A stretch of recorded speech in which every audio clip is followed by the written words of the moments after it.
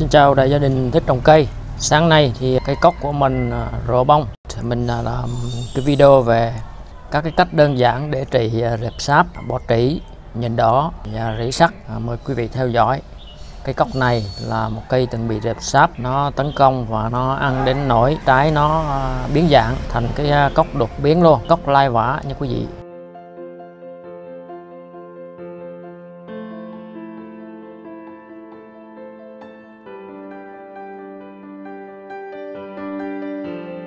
Những loài côn trùng và vi khuẩn vừa nêu à, là cái loài hút máu. Máu này là máu cây á, tức là nó hút ờ, nhựa cây. Nó làm cho lá không thể quang hợp được ngọn không thể phát triển được. Chẳng hạn như à, con à, rệp sáp nó bu thì nó làm cho lá cây bị kiệt sức cái ờ, đọt bị cồn đi. Con bột trĩ thì làm quang độc con lá.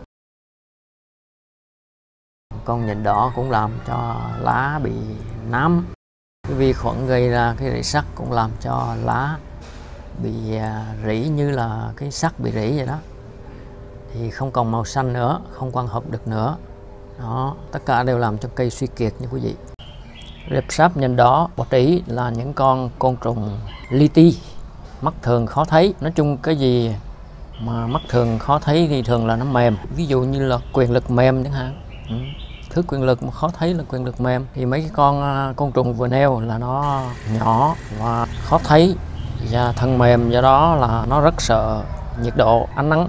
Nó chỉ sống ở nhiệt độ dưới 35 độ C cho nên là cách nhanh nhất để diệt nó đó là dùng nước uh, nóng hơn 35 độ C. Tức là mình uh, dùng cái nước ba sôi hai lạnh nghĩa là nước nóng ấm mình xịt lên chỗ nó trú thì uh, coi như là nó chết cách thứ hai là mình dùng cái nhiệt độ đó cộng với nước rửa chén. Nước rửa chén nó có chất tẩy rửa làm cho những con này nó chết. Và kết hợp với nước ấm nóng nữa thì càng chết nữa. Nước ấm nóng à, không làm chết cây vì sao? Bởi vì lá chỉ là một bộ phận của một cái cây gồm có rễ, thân, cành, lá. Thì khi mình xịt lên lá, nếu lá có bị ảnh hưởng thì chỉ là một mấy mấy hoặc 10 phần trăm của à, cơ thể một cái cây. Nhưng mà nhiệt độ đó xịt thẳng vô cái con côn trùng thì nó dính 100 phần trăm cái nhiệt độ và nó chết. Cho nên cây thì không bị ảnh hưởng mà diệt được các cái loài gây hại. Còn à, nước rửa chén thì có có hóa, hóa chất rồi. Chất tẩy rửa tổng hợp. Còn cái à, dầu ăn là cái chất lưu tức là giữ cho những thứ kèm theo nó được lâu hơn. Đó, và tăng cái tác dụng thêm thôi.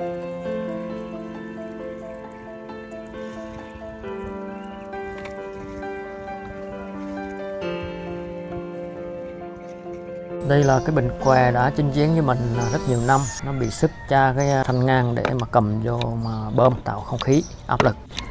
Lưu ý là khi xịt những cái loài vừa nêu thì ta phải dùng cái loại bình xịt bắn được tia đó, đó như cái bình què này. Chứ à, không nên dùng cái loại mà vẫy vẫy nước kiểu như cái bình này. Nói chung là nên dùng cái loại những cái loại bình mà có bơm. Bơm bơm bơm để gây áp lực không khí và xịt ra những cái tia để khi xịt thì à, con à, những cái con đó nó vừa chết vừa trôi luôn.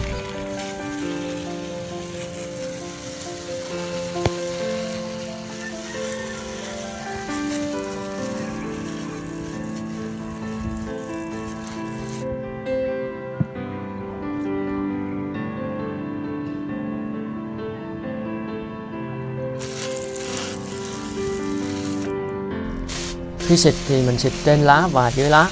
Thường những cái con này nó núp ở dưới mặt lá. Thì cho nên là mình xịt ở trên ở dưới cho nó không còn môi trường để chạy. Thì đối với cây trồng trong ờ, chậu to hoặc là trong cái ờ, khay trong bồn cố định thì mình phải ờ, banh cái mặt dưới lên mình xịt. Còn đối với những cái chậu nhỏ thì ta lật ngang cái chậu đó, và lăn cái chậu để mình xịt được mặt sau của tất cả các lá. Đó đều luôn. Nước ấm nóng cộng nước rửa chén cộng dầu ăn. Thì tỷ lệ là à, cứ một lít nước là là 10 ml tức là một muỗng cà phê. Dầu ăn một muỗng cà phê nước rửa chén. Và nước ba sôi hai lạnh hoặc là một sôi một lạnh quý vị. Cách thứ hai là ta dùng vôi bột. Vôi bột thì ở quê bán ký chỉ có 3.000 đến 5.000 đồng hoặc là cao lắm cũng 7.000 đồng mà thôi là cái loại vôi bột mà người ta chiết vô những cái bịch ni lông không nhãn mát á. À, có một uh, ký một một bịch thì họ bán là 3 đến 7 ngàn đồng thôi. Còn ở đây là bịch cứng có thương hiệu bán 15 ngàn đồng ký bịch 2 ký 30 ngàn.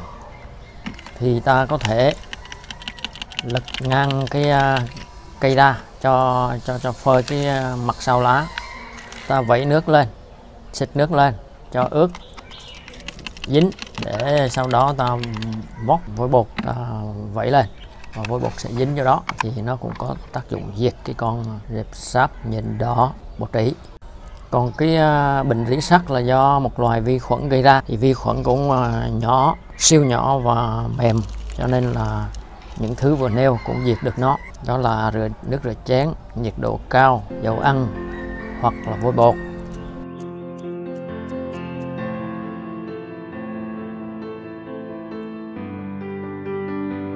Vôi bột ta cũng có thể hòa vô nước. Cứ một lít nước là mình hòa một muỗng canh vôi bột. Mình bỏ vô trong nước mình quậy cho nó ra cái chất rồi xong mình để lắng. Thì cái phần à, nước trong mình sẽ dùng xịt cái phần à, cặn mình sẽ đổ đi.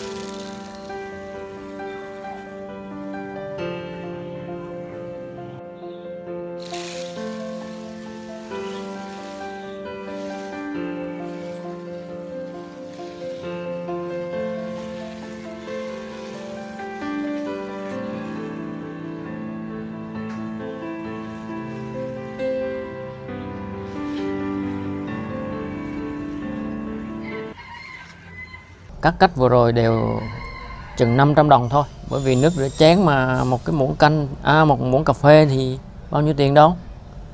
Dầu ăn một muỗng cà phê bao nhiêu tiền đâu? Quy ra là khoảng dưới 1.000 đồng. Vôi bột một à, muỗng à, canh thì cũng à, dưới 1.000 đồng đúng không? Còn à, nước ấm thì không đồng. Đều là rẻ. Còn cái cách này là cách không rẻ nha. Đó là ngâm gừng tỏi ớt sắc nhỏ ra, rồi à, đổ rượu trắng vô. Rượu trắng à, càng cao độ càng tốt, bởi vì vi khuẩn hay những cái con à, côn trùng nhỏ đều sợ cồn nha quý vị, cồn. Mà ở đây đã có cồn rồi, mà còn có thêm những cái chất cây nóng như là gừng, tỏi ớt nữa thì càng làm cho nó dễ chết hơn. Rượu ngâm gừng tỏi ớt này khoảng à, một tháng thì đem ra dùng được. Mỗi à, lít nước ta dùng một ly nước cốt của dung dịch rượu gừng tỏi ớt. Thì ở đây mình dùng cái à, bình xịt 4 lít. À, mình sẽ dùng 4 cái ly này rượu thì mình kết hợp luôn những thứ vừa rồi để mình ra mình xịt cây nho. Cây nho bị rầy trắng và đồng thời là bị rệp sáp bu trong trái rồi còn bị rỉ sắt ở lá.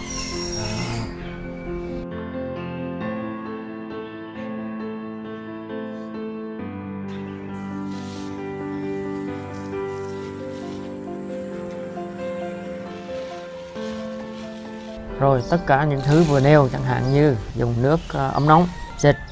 Dùng nước ấm nóng kết hợp với nước rửa chén. Dùng nước ấm nóng kết hợp với nước rửa chén cộng dầu ăn hoặc là nước ấm nóng với ờ, nước vôi bột. Hoặc là dùng vôi bột hoặc dùng dung dịch rượu gừng tỏi ớt hoặc tất cả những thứ trên kết hợp lại và xịt. À, nhớ là sau khi xịt thì ngày hôm sau ta xịt tiếp cho những tàn dư của ờ, những cái loài gây hại này cũng chết luôn. Và xịt thêm ngày thứ ba nữa càng tốt. Tuy nhiên tất cả những cái uh, biện pháp này chỉ phát huy tác dụng khi cây còn bị nhẹ. À, cho nên ta nên uh, ngày ngày dòm ngó vô cái cây và thấy cái uh, lá nào mà có chớm đốm đốm là ta biết ngay rằng nó sắp bị bệnh thì ta ngắt ngay. Chẳng hạn như cây ớt này của mình là cứ ờ, mỗi lần ra đây uống cà phê dòm lên thấy lá đốm là ngắt. Bên kia là cây nho, là tới hồi bị rỉ sắt, là kín cả cây và cây không phát triển nổi. Thế là mình ờ, cắt cành luôn và bứt hết lá đi tiêu hủy. Sau đó mới phun xịt ờ, những dung dịch vừa nêu. Thì đến nay nó xanh mướt rồi, không không có một tí đốm nào trên lá hết mà không cần dùng thuốc hóa học nha quý vị. Đó, thì à, cách tốt nhất vẫn là quan sát và xử lý ngay khi à, nó chấm bệnh. Và cách xử lý nhanh nhất đó là dùng tay ngắt lá bệnh đó, tiêu hủy. Chẳng hạn như là bỏ vô một cái à, bịch ni lông có có zip zip lại, rồi bỏ vô giỏ rác. Hoặc là bỏ ra nơi nắng to, cho lá nó khô đi và cái cái con đó nó chết đi không gì hơn là phát hiện sớm và xử lý sớm. Còn khi mà chẳng hạn như rệp nó bu đầy cả cây thì những cách vừa nêu sẽ không tác dụng mấy bởi vì sau khi xịt chết được uh, mấy chục phần trăm thì nó lại sinh sôi ra bấy nhiêu và hôm sau xịt tiếp nó vẫn còn. Đó cho nên là khi cây bị nhẹ hoặc mới bị thì ta nên xử lý ngay nha quý vị.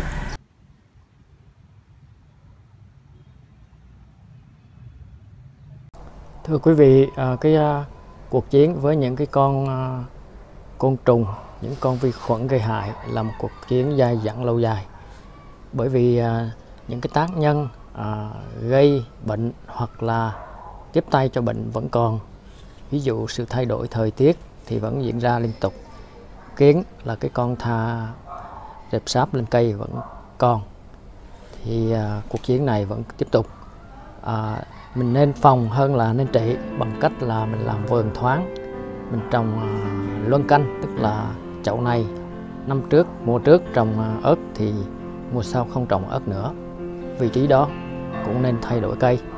À, nữa là một cách nữa đó là mình trồng xen những cây có mùi là cây rau răm bạc hà rau gia vị đó vào chung với những cây trồng khác để nó hạn chế sự xâm nhập của các cái uh, côn trùng vi khuẩn gây hại nha quý vị. Chúc quý vị thành công trong việc uh, trồng cây và bình an trong đại dịch. Xin chào tạm biệt và hẹn gặp lại quý vị trong những video tiếp theo nha.